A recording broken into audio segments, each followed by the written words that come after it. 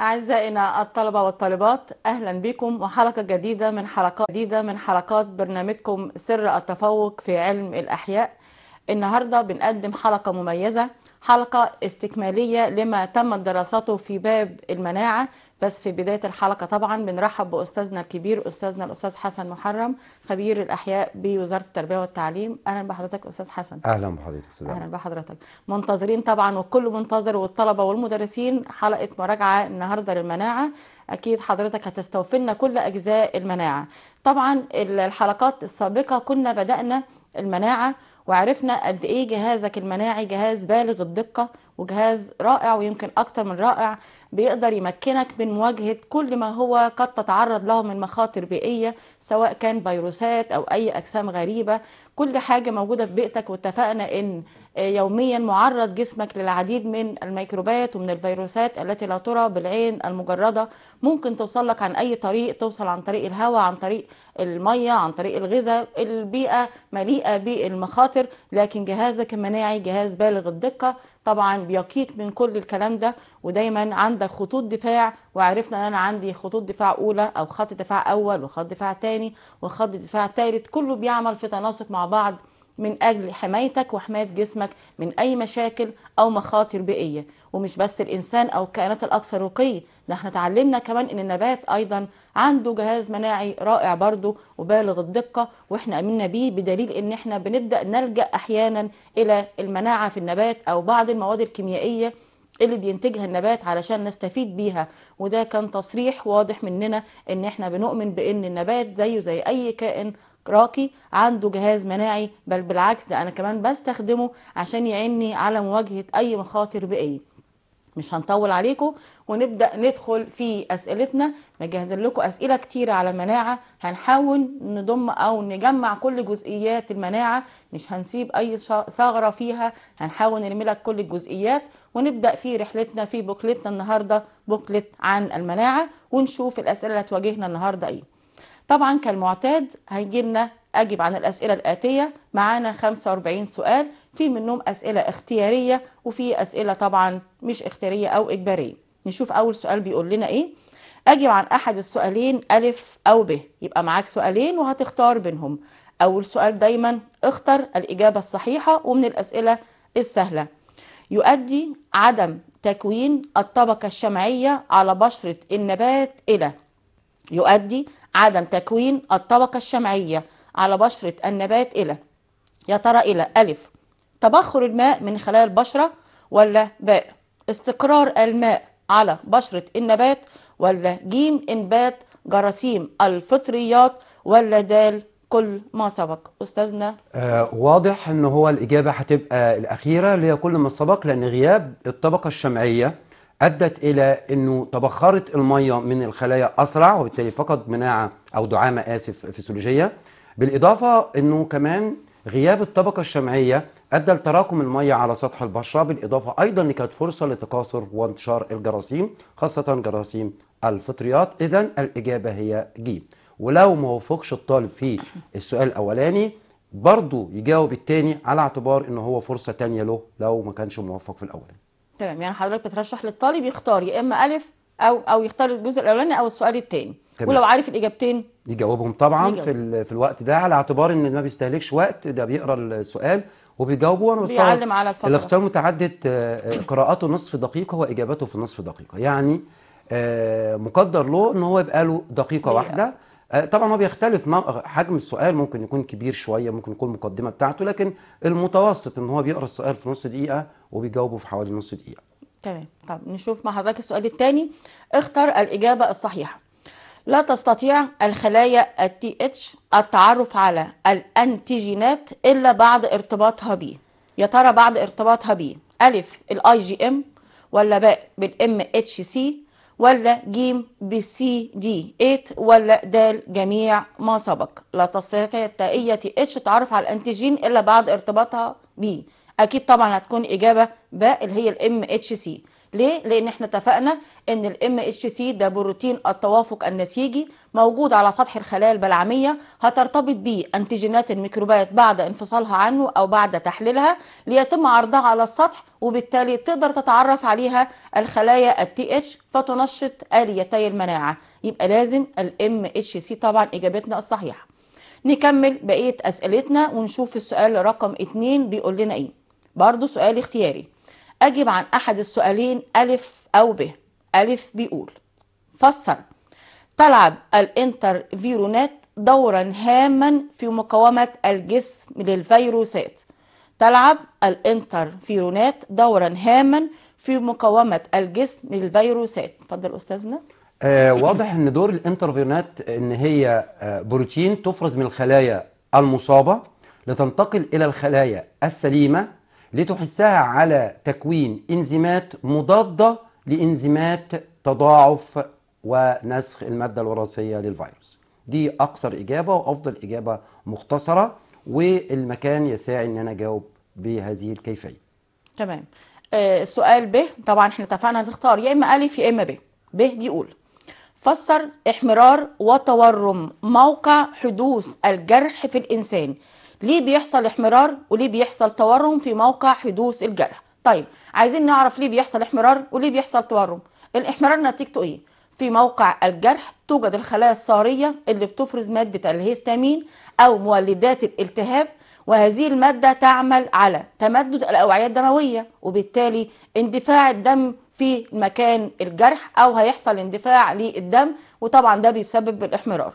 وطبعا برضو الهيستامين بتعمل على زيادة نفاذية الأغشية للأوعية الدموية فبتكون أكثر نفاذية لبعض السوائل من الدم إلى الأنسجة هتسبب طبعا التورم. يبقى عرفت الإحمرار وللتورم. ومن ضمن المواد برضو اللي بتخرج أو اللي بتحصل نتيجة النفاذية أو خروجها من الوعاء الدموي بعض المواد القاتلة للميكروبات والفيروسات وبعض أنواع الخلايا زي الخلايا البلعمية وزي الخلايا واحدة النواة وزي الخلايا المتعددة الأنوية أو المتعادلة يبقى عرفت ليه حصل إحمرار وليه حصل التورم بس بس الطالب حتى لو ما ذكرش الجزء الأخير من الإجابة مش مطالب بيها اللي هي خروج المواد المذيبه آه، القاتلة والخلايا لأن دي آه. ليست لها علاقة لا. بالإحمرار ولا آه بالتورم هو الإحمرار بس اندفاع الدم الإحمرار والتورم والتورم علشان اللي خرجت من الأنسجة آه نعلمه الإجابة اللي هي.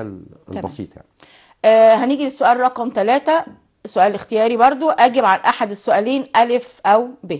سؤال ألف بيقول ماذا يحدث في حالة غياب الأنتيجينات من أغشية بعض الميكروبات؟ غياب الأنتيجينات من أغشية بعض الميكروبات. آه، غياب الأنتيجينات آه، آه، يترتب عليها لا تستطيع الخلايا المناعية المتخصصة أن تتعرف على هذه الميكروبات وبالتالي لا تستطيع القضاء عليها. تمام.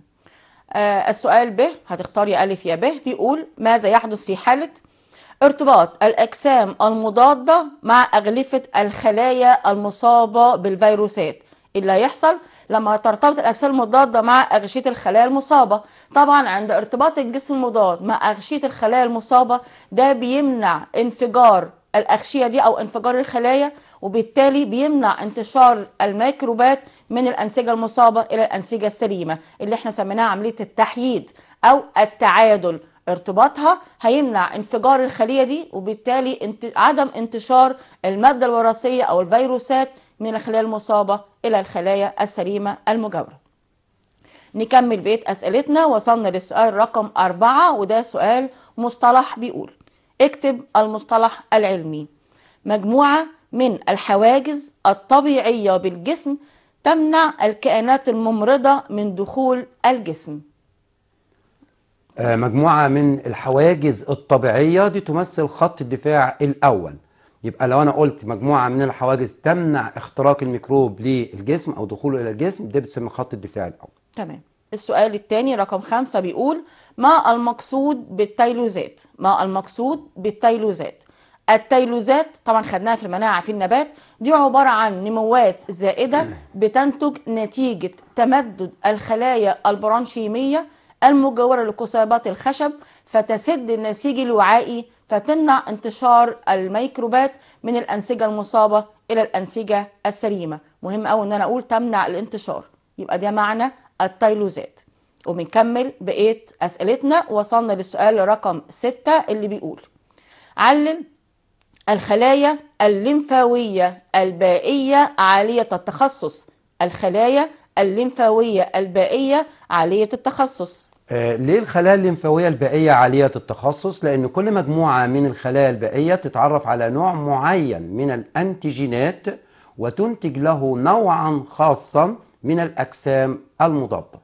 يبقى الإجابة مرة تانية لأن كل مجموعة من الخلايا البائية لا تتعرف إلا على نوعا معين من الأنتيجين بتاع الميكروب وتنتج له نوعا خاصا من الأجسام المضادة. وده يرجع لوجود المستقبلات على الخلايا البائية. تمام. آه وصلنا للسؤال رقم سبعة والسؤال ده وارد إن إحنا يجي رسمة ويسألني عليها. السؤال ده بيقول ما اسم الخلايا. طبعا واضح إن معايا رسمة أهي وبيقول لي ما اسم الخلايا رقم ثلاثة ورقم ستة. طب نلاحظ مع بعض الرسمة كده الأول. نحاول نترجم الرسمة دي عبارة عن إيه. بيقول لي ما اسم الخلايا رقم 3 ورقم 6 نشوف رقم 3 فين. طبعا مكتوب عليها سي دي 4 يبقى أكيد رقم 3 هتكون الخلايا TH. طيب رقم 6 هتكون إيه؟ رقم 6 هتكون الخلايا البلعمية. رقم سبعة أو السؤال ب آسفة بيقول ما اسم المواد التي تفرزها الخلايا؟ رقم اتنين ورقم أربعة. طب نرجع تاني لرقم اتنين. رقم اتنين دي الخلايا TH طب إيه المادة اللي بتفرزها ومش طالب اسمها وعايز اسم المادة؟ هتفرز الانترليوكاينات. يبقى المادة اللي بتفرزها الخلايا 2 الانترليوكاينات عشان تنشط ال TH الأخرى. طب ورقم أربعة بتفرز إيه؟ لو لاحظنا رقم أربعة في قدامها بتنتج لي خمسة اللي هي الأجسام المضادة يبقى أكيد أنا فهمت إن أربعة دي عبارة عن الخلايا الليمفاوية البائية البلازمية. يبقى أكيد بتفرز طبعا الأجسام المضادة. إحنا بنحاول نشرح السؤال لكن هو عايز اسم المادة بس. هتفرز إيه؟ الأجسام المضادة. ننتقل لسؤال تاني. سؤال مقارنة بيقول قارن بين المتممات والكيموكاينات من حيث الأهمية المناعية المتممات والكيموكاينات أهمية مناعية. الأهمية المناعية للمتممات هي مواد محللة بتعمل في وجود الأجسام المضادة بتعمل على تحليل الميكروب المرتبط بالجسم المضاد.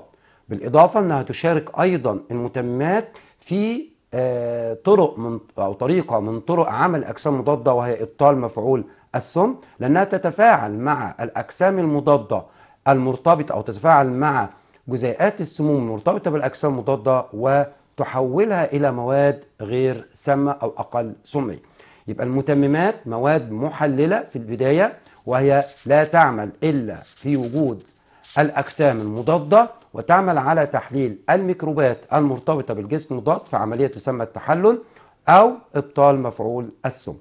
تمام. كان في كمان الكيموكاينات.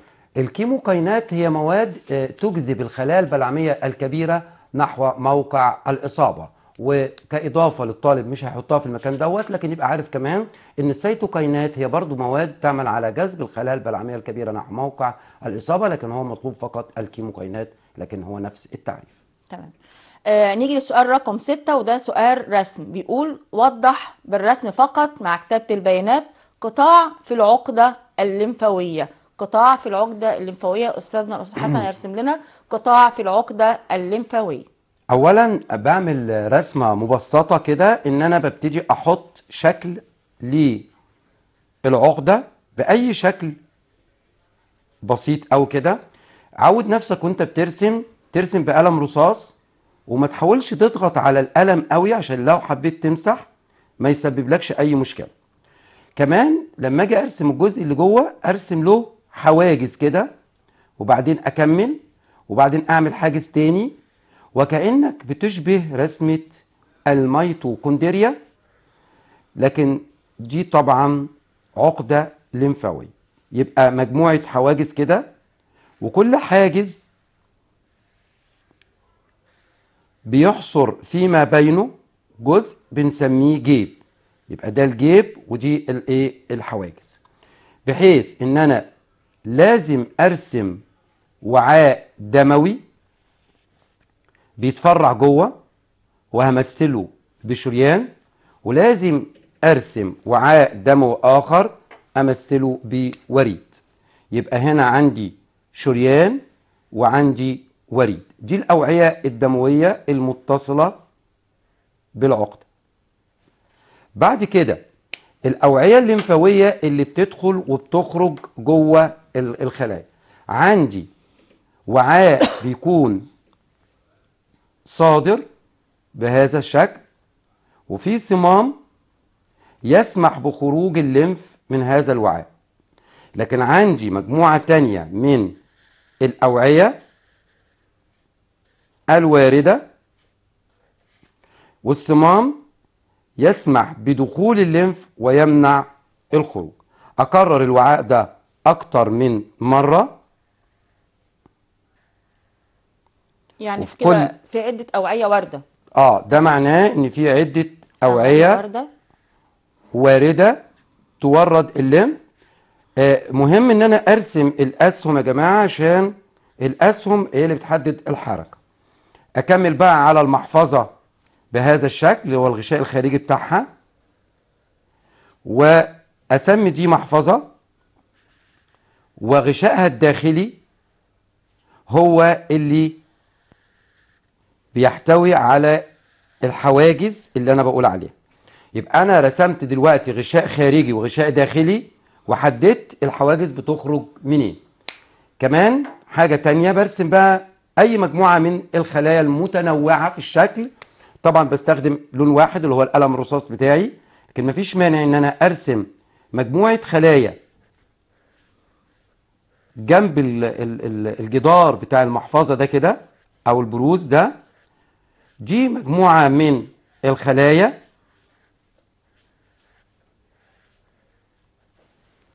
والخلايا دي مش هي بس اللي موجودة لوحدها لا ده في مجموعات تانية من الخلايا لأن اتفقنا إن الخلايا البلعمية الكبيرة أو آسف ال ال ال أنواع الخلايا الدم موجودة في العقدة الليمفاوية. دي مجموعة أخرى من الخلايا. وبرضو في مجموعة ثالثة من الخلايا. يعني يحرص إن هو يدي ثلاث أشكال مثلا أو يدي احجام لحد حتى، ما. لكن هو لو في الامتحان عمل أي عدد من. الخلايا مفيش أي مشكلة. اللي هيعمله هنا هيعمله هنا هيعمله هنا لكن أنا ما بطالبش إنه يكرر. ليه؟ مش مطلوب. لو أنا رسمت الرسمة دي وقدمتها في الامتحان هاخد نص من درجتين. عشان البيانات. ليه؟ لأنها رسم بلا بيانات. تمام. في درجة ونص خسرها طب على الأقل أكون كاتب ثلاث بيانات سليمة. آه، آه، يفضل إن أنا أكتب جميع البيانات علشان لو تضمن بيان منهم خطأ والباقي كله صح ما عقابش أنا يهمني يكون في على الأقل من ثلاث إلى أربع بيانات سليمة. تمام. فأنا لما أكتب على ده وعاء لمفاوي صادر. أدي بيان. أختار واحد من الاثنين دول وأقول عليهم وعاء. لمفاوي وارد. تمام؟ تمام. لكن ده ممكن أسميه حاجز. والفراغ ده ممكن أسميه جيب. ما هي عبارة عن حواجز. وجيوب طيب الوعاء ده نفس الكلام. وعاء لمفاوي وارد فمش هكرره. دي واللي جنبها أوعية دموية. دموية.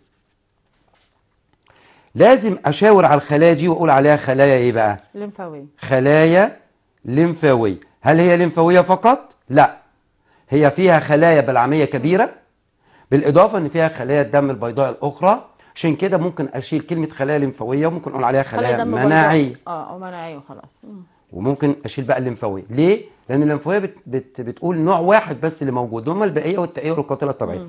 طلعت إن العقدة الليمفاوية لا العقدة الليمفاوية يا جماعة فيها كل أنواع خلايا الدم. فيها خلايا الدم البيضاء اللي هي بنقول عليها المحببة اللي هي القاعدية والحموضية والمتعادلة فيها كمان خلايا وحيدة النواة. فيها خلايا بلعمية كبيرة. وفيها خلايا الليمفاوية البائية والتائية والقاتلة الطبيعية. عشان كده من أهم آه، الأعضاء الليمفاوية في جسم الإنسان العقد الليمفاوية. ليه وجود كل أنواع خلايا الدم البيضاء في. العقد الليمفاوية. فلها. يعني مش مطلوب مني نقول الكلام دوت لكن هقوله عشان مهم جدا. آه، لازم نركز على إنها لها وظيفتين وأنا بذاكرها. لازم أقول لها وظيفتين. الوظيفة الأولانية مخزن. إحنا اتفقنا إن في تخزين. اذا هي العقد الليمفاوية. ليست عضو إنتاج ولا بيتم فيها نضج ولا بيتم فيها تمايز ولكن بيتم فيها تخزين. تخزين كل أنواع الخلايا الدم. لكن النقطة الثانية في الوظيفة إنها لما بيمر عليها سائل الليمف بتعمل على تنقية الليمف من الشوائب والمواد الغريبة والميكروبات والأنتيجينات وتقضي عليها في العقد الليمفاوية بحيث لو الليمف داخل العقدة في نسبة من الميكروبات أو الأجسام الغريبة لما يخرج من الوعاء الصادر يكون أكثر تنقية مما كان عليه. عليه أثناء تمام. دخوله ودي هدف من العقد الليمفاوية والضمان أن الليمف يتم تنقيته بشكل أفضل يمر على أكثر من عقدة ليمفاوية لكن هو كثرة العقد مش الهدف الأساسي فيها دقة التنقية لكن كثرة العقد هي إيجاد مساحة كبيرة لتخزين أكبر عدد من الخلايا. هي مخزن أكبر من أنها تكون عامل التنقية. تنقية. تمام. آه نيجي للسؤال نكمل بقية أسئلتنا ونيجي للسؤال رقم 10 بيقول أجب عن أحد السؤالين. يبقى معايا سؤالين ألف أو ب وهختار واحد من الاثنين ألف بيقول السؤال ده مصطلح. مقدرة الجسم على مقاومة مسببات المرض والأجسام الغريبة والقضاء عليها. مقدرة الجسم على مقاومة مسببات المرض والأجسام الغريبة والقضاء عليها. يبقى دي طبعا من خلال المناعة أو دي المناعة. طيب ب بيقول مصطلح حواجز طبيعية. تمنع المسببات المرضية من الدخول إلى النبات وانتشاره بداخلها. حواجز طبيعية تمنع المسببات المرضية من الدخول إلى النبات وانتشاره بداخلها. دي هتكون؟ آه، أكيد هي دي المناعة التركيبية بالنسبة للنبات لأن هي دي الحواجز الطبيعية اللي موجودة عنده اللي سواء بتتكون قبل الإصابة موجودة عنده من الأول يعني أو تكونت عند التعرض للإصابة. تمام. سؤالنا 11 بيقول علل الجدار الخلوي في النبات والجلد في الإنسان من وسائل خط الدفاع الأول. الجدار الخلوي والجلد من وسائل خط الدفاع الأول. طيب تعال نشوف الجدار الخلوي. الجدار الخلوي يتركب من مادة السليلوز ده تركيب أساسي ويترسب عليها مادة الليجنين فتصبح أكثر صلابة. ما يهمنيش هنا الصلابة أنا بتكلم عن المناعة. يبقى تصبح سميكة وبالتالي يصعب على الكائنات الممرضة اختراقها. يبقى وجود السليلوز مع مادة الليجنين ده يدي صعوبة عشان الكائن الممرض ما يقدرش يخترق المكان ده. طيب ليه الجلد في الإنسان يعتبر برضو من ضمن الوسائل أو خط دفاع أول؟ لأن الجلد عبارة عن طبقة قرنية تمنع دخول مسببات المرض وبخلاف كمان أن الجلد يحتوي على الغدد العرقية التي تفرز العرق وده عبارة عن مية فيها نسبة من الأملاح فبرضه بتكون وسط قاتل لأي نوع من أنواع الميكروبات أو الفيروسات اللي تكون موجودة على الجسم أو على الجلد فبالتالي برضه بتمنع دخول. يبقى أنا لازم ألاحظ أن أنا في الحالتين بقول تمنع دخول لأن أنا بتكلم عن خط الدفاع أول. يبقى تمنع دخول أي مسببات مرضية إلى الجسم. نكمل بقية أسئلتنا. وصلنا للسؤال 12 وده سؤال اختر الإجابة الصحيحة. السؤال بيقول كل هذه المواد قد توجد في النباتات قبل الإصابة بالكائنات الممرضة. ما عدا يبقى كل دول موجودين معايا قبل الإصابة. ما عدا مين؟ ألف الفينولات. أتنين السيفالوسبورين جيم الكنفنين أو الاختيار الثالث الكنفنين. دال الرابع إنزيمات نزع السمية. يا ترى أنهي إجابة آه، صحيحة؟ كل المواد نقدر نعتبرها إنها كانت موجودة قبل الإصابة لكن إنزيمات نزع السمية تتكون عند تعرض النبات للسموم. تمام. يبقى طبعا الاختيار الأخير. أخير سؤالنا رقم 13 بيقول ما الأهمية المناعية للخلايا الصارية؟ ما الأهمية المناعية للخلايا الصارية؟ إيه الخلايا الصارية؟ وإيه أهميتها المناعية؟ الخلايا الصارية خلايا توجد في أنسجة الجسم. الأهمية المناعية بتاعتها إنها عند حدوث جرح قطعي في الجلد وده هنا بنقول ده خط الدفاع الثاني بتفرز مادة الهستامين أو مولدات الالتهاب. وهذه المادة نوع من أنواع المناعة هتعمل على تمدد الأوعية الدموية مما يؤدي إلى التورم هتعمل على زيادة نفاذية جدر الأوعية الدموية لبعض السوائل مما يؤدي إلى خروج السوائل إلى أنسجة الجسم مما يؤدي إلى طبعا هيبدأ يحصل التورم. الأولانية كانت الإحمرار دي التورم. وخروج بعض المواد القاتلة والمذيبة للميكروبات والفيروسات. وخروج بعض أنواع الخلايا مثل الخلايا البلعمية والخلايا المتعادلة والخلايا وحيدة النواة. طبعا كل ده بيقدر يهاجم أو تقدر تقتل الميكروبات وده خط الدفاع الثاني يبقى لازم وأنا بجاوب مرتب كلامي أنا بتكلم عن خط الدفاع الثاني وده بيحصل عند وجود الالتهاب. اسم المادة إيه؟ مادة الهستامين وتأثيرها بيحصل إيه؟ وإيه المواد اللي بتخرج؟ يبقى دي إجابة سؤالنا رقم 13 ننتقل لسؤال 14 بيقول ماذا يحدث في حالة ارتباط الأجسام المضادة مع السموم؟ ارتباط الأجسام المضادة مع السموم. عندما ترتبط الأجسام المضادة مع السموم تكون مركبات تتفاعل مع المتممات في سلسلة من التفاعلات تنتهي بمواد غير سامة تخلصنا منها الخلايا البلعمية الكبيرة. تمام.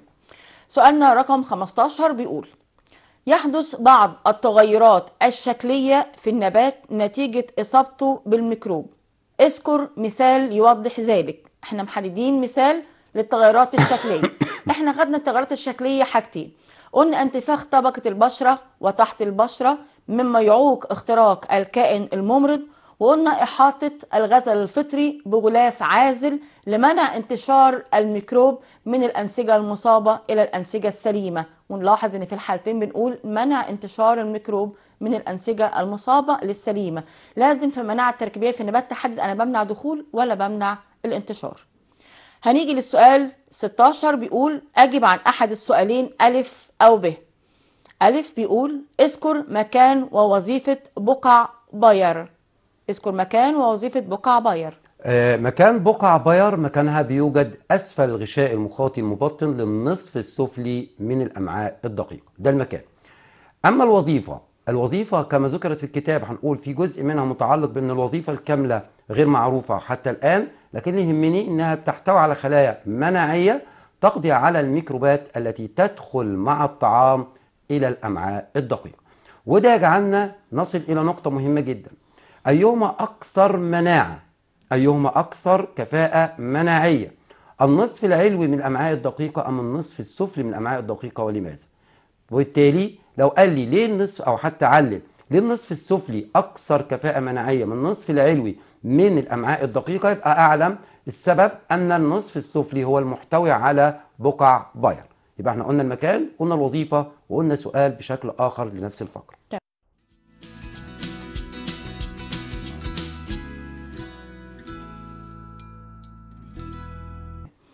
السؤال ب بيقول اذكر مكان ووظيفة الطحال. الطحال موجود في الجانب العلوي الأيسر من تجويف البطن. الوظيفة بتاعته هيحتوي على نوعين من الخلايا. في خلايا بلعمية عشان ترتبط أو تبتلع أي نوع من أنواع الميكروبات وتقدم عنها معلومات للخلايا المختصة. وفي كمان الخلايا البلعمية برضو أو هي مسؤولة أيضا عن إنها تبتلع أي عضيات أو خلايا هرمة أو مسلة وتفصلها إلى عناصرها الأولية. زي ما خدنا قبل كده وجالنا في أكتر من سؤال إن لو عندي خلية دم حمراء هرمة ومسنة بتفصل عنها عناصرها الأولية وهو الحديد علشان يدخل في تركيب كرة دم حمراء جديدة وقلنا ده نوع من أنواع إعادة التدوير بجانب إنها أيضا تحتوي على بعض الخلايا الليمفاوية لأن الطحال من الأعضاء التخزين أو المسؤول عن التخزين. نشوف بقية أسئلتنا. وصلنا لسؤال عليه رسمة وجايب لنا عليها أسئلة. سؤال 17 بيقول معانا الرسمة نداء في الرسمة كويس. السؤال بيقول ما أهمية الجزء رقم واحد. أستاذنا رقم واحد. أكيد رقم واحد الناس بتنسى وتكتب وظيفة واحدة له. ليه؟ لأن لما ذكر على نخاع العظام في مكانه ذكر وظيفة واحدة وهي تكوين خلايا الدم الحمراء خلايا الدم البيضاء والصفائح الدموية ويتناسى الطلبة أن هناك وظيفة أخرى لم تذكر في مكانها ولكنها ذكرت في مكان آخر. عندما ذكرت أنواع الخلايا الليمفاوية فقيل أن نخاع العظام هو المكان الذي تنضج فيه الخلايا الليمفاوية البائية وأيضا الخلايا الليمفاوية القاتلة الطبيعية. يبقى ما ننساش لما أجي أسأل أهمية نخاع العظام لازم أذكر الاثنين رغم أن هما مش موجودين في مكان واحد. يبقى نخاع العظام تكوين أو إنتاج خلايا الدم الحمراء خلايا الدم البيضاء بكل أنواعها المختلفة بالإضافة لإنتاج الصفائح الدموية أيضا الوظيفة الأخرى نضج الخلايا البائية والخلايا القاتلة الطبيعية. دي كانت رقم واحد, واحد. رقم اتنين أكيد كانت بيشير بيها للغدة التيموسية ومعروف طبعا الغدة التيموسية وظيفتها نضج الخلايا الجذعية إلى خلايا تائية وتمايزها إلى أنواعها المختلفة في وجود هرمون التيموسين. التيموسين. تمام. وصلنا لسؤال 18 وده برضو سؤال رسم عايز يوضح بالرسم كتابة البيانات. طبعا تركيب الجسم المضاد. رسمة توضح آه، تركيب رسمة الجسم المضاد. الجسم مضاد سهلة جدا. بحاول إن أنا أرسم حرف واي يبقى في الأول هرسم السلاسل دي اللي هي السلاسل الطويلة وبعدين أعمل لها الشكل المجسم ده.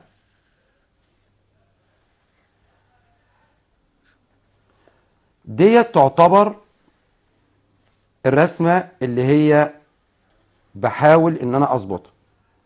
طبعا السلاسل دي عشان تبقى متصلة ببعضها لازم يكون في عندي رابطتين أربطهم ببعض. أنا عندي هنا آدي رابطة وآدي رابطة. كل واحدة منهم رابطة كبريتيدية ثنائية.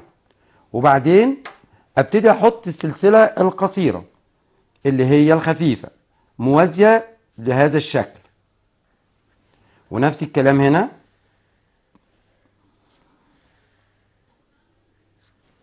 ونفس الطريقة بما إن كل واحدة منهم على اتصال بالتانية يبقى لازم تكون مرتبطين ببعض كل واحدة منهم برابطة كبريتيدية ثنائية. اللي يهمني هنا إن أنا أجي أحدد جزء كده وأظلله وأسمي ده موقع الارتباط بالأنتيجين. يبقى النقطتين اللي أنا حددتهم دولت هسميهم موقع الارتباط بالأنتيجين. ونفس الطريقة بحدد برضو موقعين على السلاسل الطويلة وأسميها مو- موقع ارتباط بالمتمم. وأفكر الطالب بحاجة عشان ما ينساش لازم يحفظ ثلاث أربعات. إيه هم الثلاث أربعات؟ أربع سلاسل أربع روابط أربع مواقع ارتباط. الأربع سلاسل دي سميتها سلسلة قصيره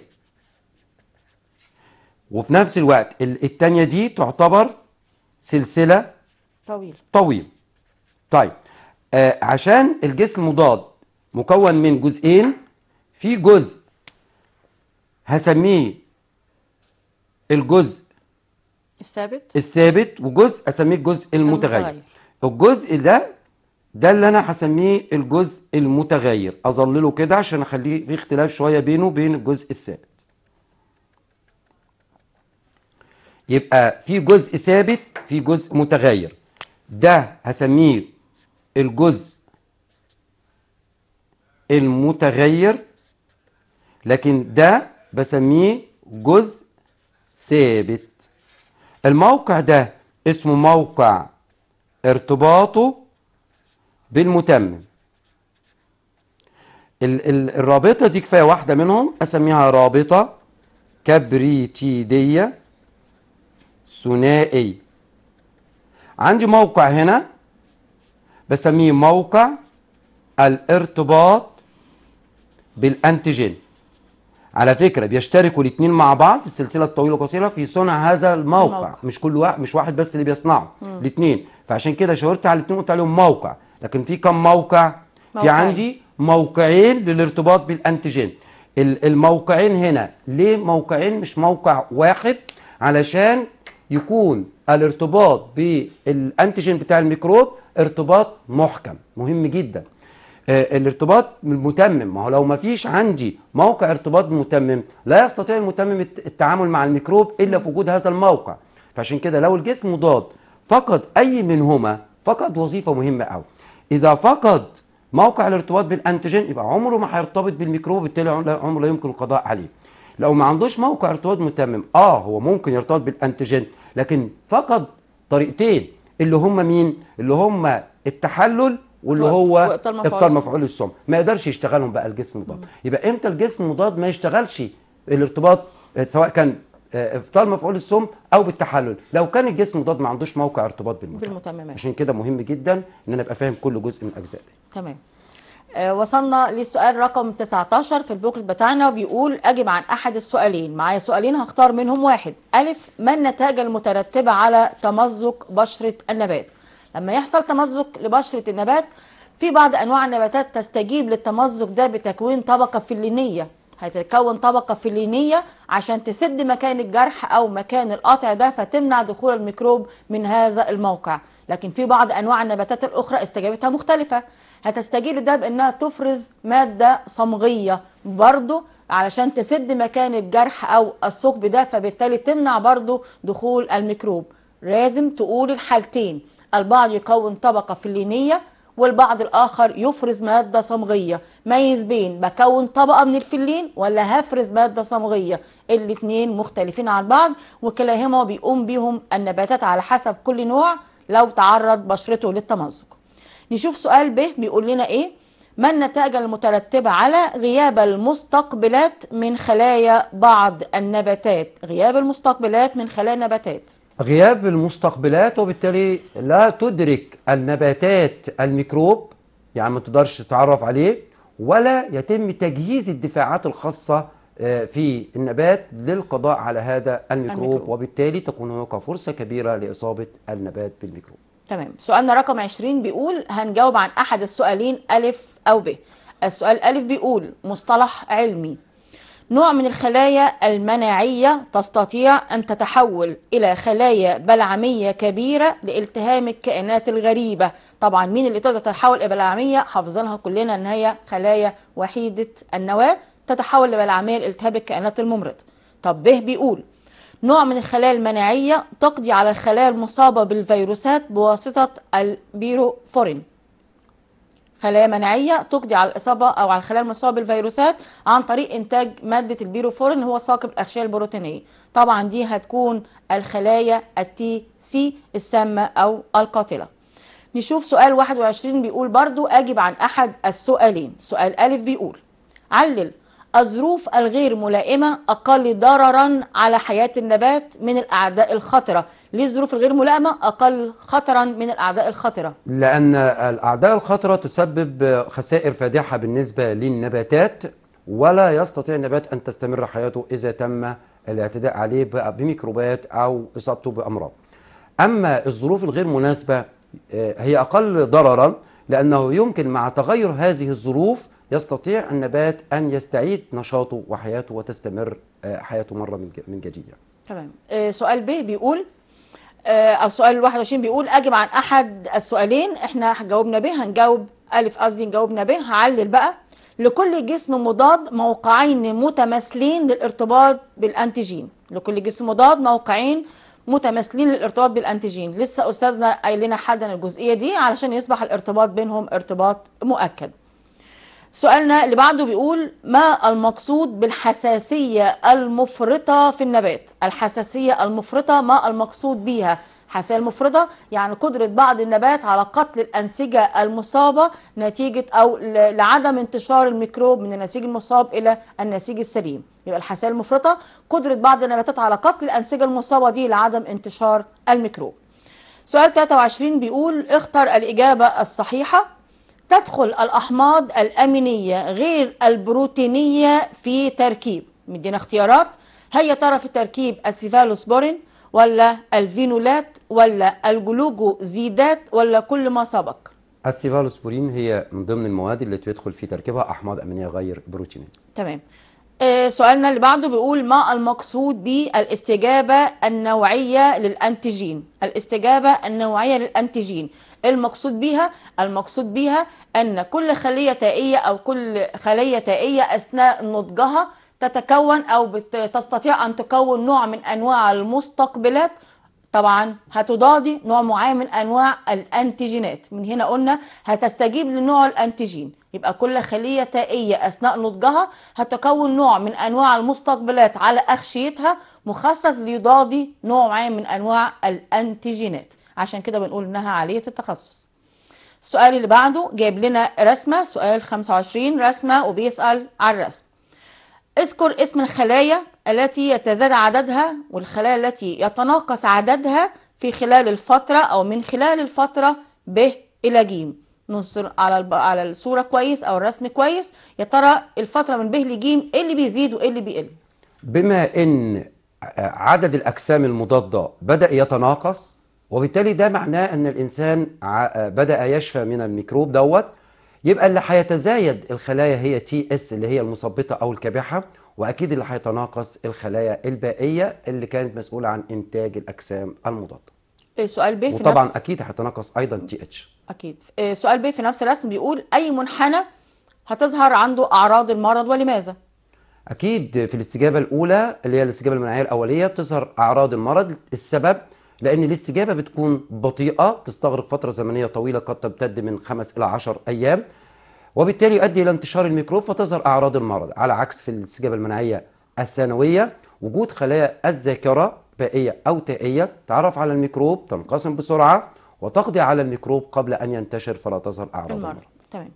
آه سؤال 26 سؤال مقارنة بيقول قارن بين المخاط والسملاغ من حيث عضو الإفراز والأهمية. المخاط دي مادة بتفرز من الممرات التنفسية علشان تلتصق بالأتربة والفيروسات والميكروبات وتمنع دخولها ودي طبعا أهميتها وتمنع دخولها من خلال الجهاز التنفسي. بينما السملاغ دي مادة شمعية بتكونها الأذن برضو لنفس الهدف عشان تلتصق بأي نوع من أنواع الفيروسات أو الميكروبات وتمنع دخولها إلى الجسم. وكلاهما من خط الدفاع الأول. سؤال اللي وراه 27 بيقول اذكر مكان ووظيفة الكيوتين. مكان ووظيفة الكيوتين. آه لو السؤال جه آه، في امتحان ثانوية عامة مش في المناعة بس يعني أكيد الإجابة تكون مختلفة. فلما أجي أقول مكان الكيوتين مكانه يغطي سطح خلايا بشرة النبات. تمام. تمام؟ آه، ده المكان. لكن لو أتكلم على الوظيفة هكتب وظيفتين وليست وظيفة واحدة. الوظيفة الأولى هاخدها من فصل الدعامة وأقول وجود الكيوتين يمنع تبخر الماء مما يحافظ على دعامة الخلايا. نمرة اتنين هاخدها في المناعة. هقول وجود طبقة الكيوتين تمنع تجمع الماء على خلايا البشرة فلا يعطي فرصة لتكاثر وانقسام وانتشار الجراثيم والميكروبات. الفطريات. تمام. البكتيريا طبعا أو الفطريات. أكيد.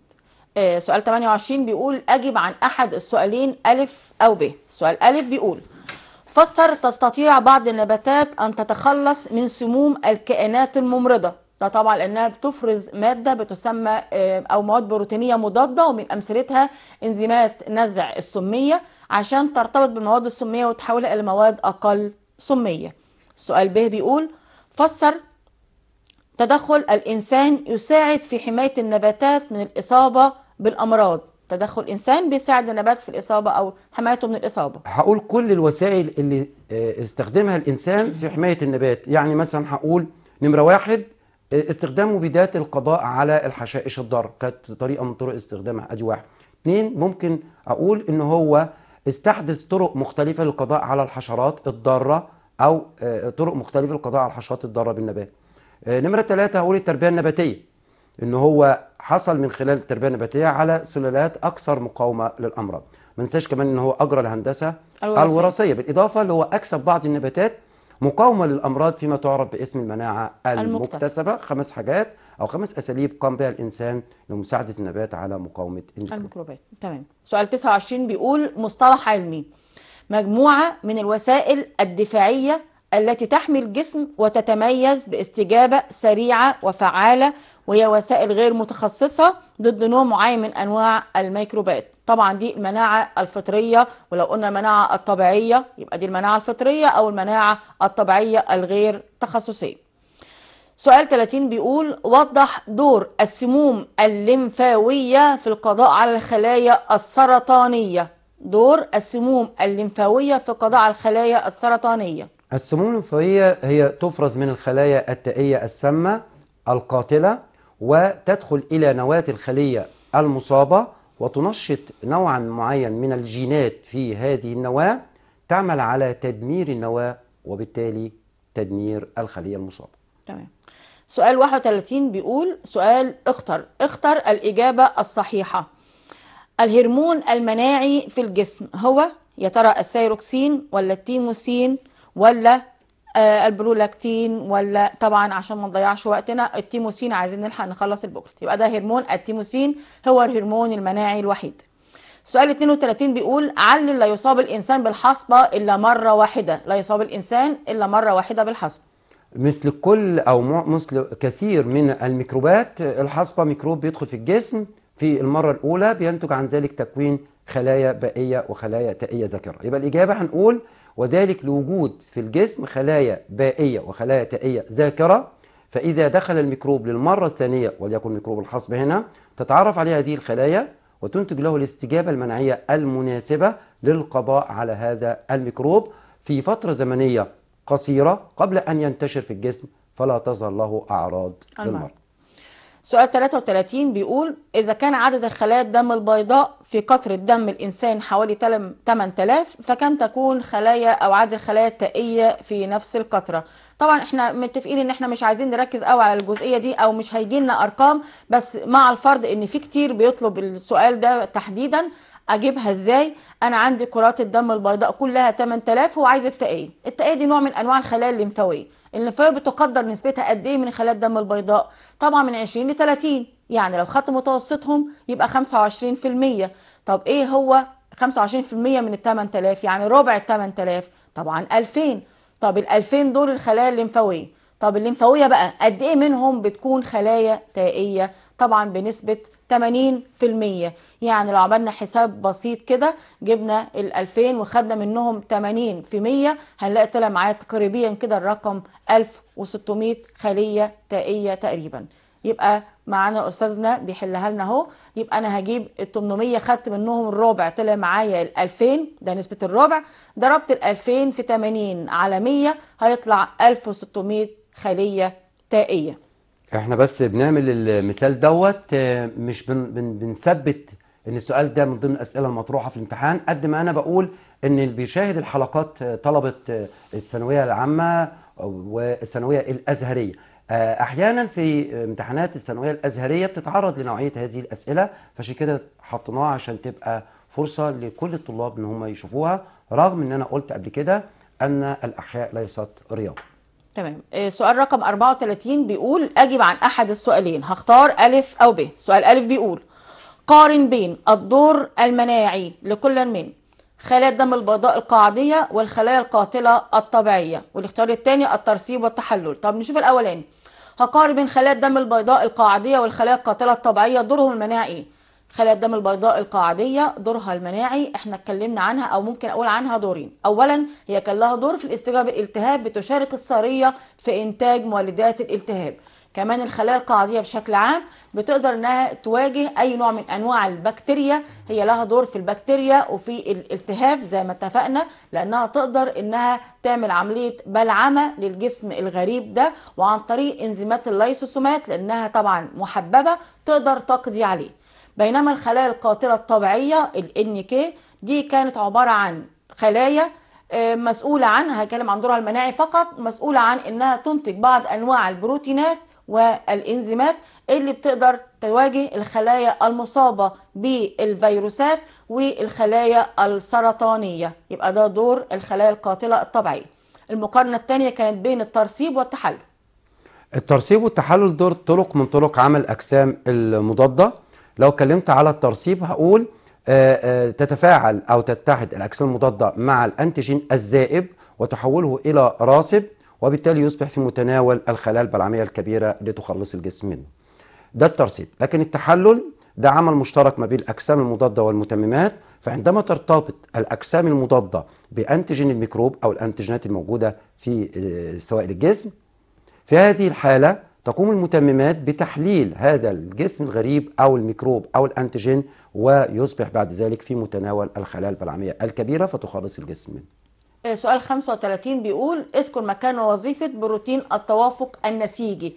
التوافق النسيجي ده موجود فيه خليتين موجود عندي في الخلايا البائية وموجود كمان في الخلايا البلعمية الكبيرة. يبقى ده المكان. طب والوظيفة؟ بروتين التوافق النسيجي بترتبط بيه أو بيحصل ربط بينه وبين الأنتيجينات الميكروبات بعد فصلها عن الاجسام الغريبة ليتم عرضها على السطح. ولو كنت في البلعميه يبقى تتعرف عليها الخلايا ال TH ولو كنا في البائية برضو علشان من خلالها يبدأ برضو الخلايا ال TH بعد تنشيطها تتعرف على هذه الخلية البائية التي تحمل على سطحها أنتيجين الميكروب. نشوف سؤال رقم 36 رسمة وبرضه بيسأل عليها. اكتب البيانات التي تشير إليها الأرقام واحد وثلاثة واحد.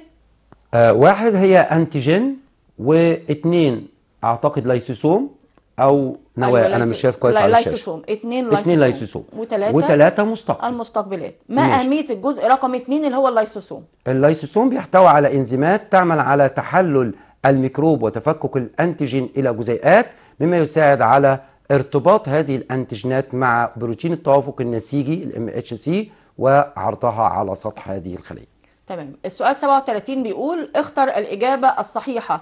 الخلايا الليمفاوية التي تهاجم الخلايا السرطانية والأعضاء المزروعة. هل هي الخلايا التائية المساعدة TH ولا التائية السامة TC ولا المثبطة TS ولا جميع ما سبق؟ طبعا خلايا سرطانية وأعضاء مزروعة يبقى أنا بتكلم عن الخلايا التائية السامة ال TC وصلنا لسؤال 38 بيقول اختر أحد السؤالين ألف أو ب ثم قارن هقارن بين البلعمية الكبيرة الثابتة والجوالة من حيث الاستجابة المناعية آه، طالما حدد لي من حيث الاستجابة المناعية يبقى أنا ه- هركز بس على الاستجابة المناعية. اولا بالنسبة للثابتة لها وظيفة واحدة وهي آه، التهام الميكروبات والأجسام الغريبة وتفككها بواسطة الإنزيمات الموجودة في اللايسوسومات والقضاء عليها.